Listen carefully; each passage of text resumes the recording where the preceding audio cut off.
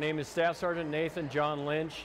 I was injured uh, on my second tour of Iraq, and we ran into a high voltage line outside Fallujah. Almost struck me in the face, reached out to block my face, and came in contact with my hand, held me there for two to three minutes. The only person that puts limitations on you is yourself. And being part of a team, it's camaraderie. I mean, we haven't seen each other since we competed against each other to get here.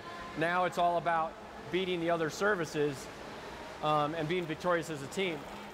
The Commandant has said the only thing more important than uh, winning the war is taking care of our wounded, ill, and injured. And this is a prime example of what we can do together as a nation to support our people that have put themselves in harm's way.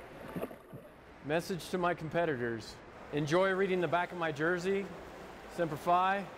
Hopefully, I'll be back next year to uh, challenge you guys again.